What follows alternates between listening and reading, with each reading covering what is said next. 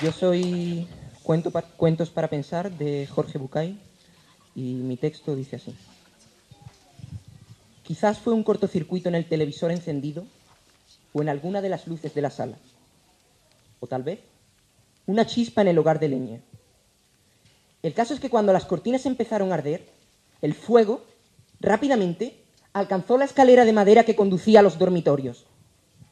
Pancho, de tan solo seis años, saltó de la cama y forcejeó con el picaporte de la puerta para intentar abrirla.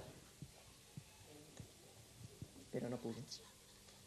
De todos modos, si lo hubiera conseguido, él y su hermano de meses hubieran sido devorados por las llamas en pocos minutos. Cuando los bomberos terminaron de apagar el incendio, el tema de conversación de todos era el mismo.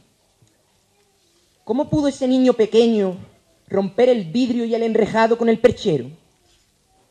¿Cómo pudo cargar al bebé en su mochila? ¿Cómo pudo caminar por la cornisa con semejante peso y bajar por el árbol? ¿Cómo pudo salvar su vida y la de su hermano? El jefe de bomberos, hombre sabio y respetado por todos, les dio la respuesta. Pancho estaba solo.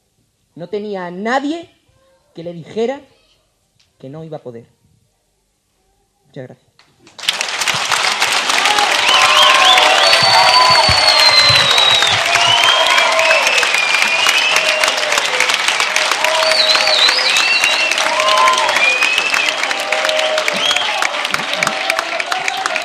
Soy, soy Manuel Carrero, vengo de Fuente de Andalucía y este texto, este relato va dedicado a estas personas libres en especial de aquí,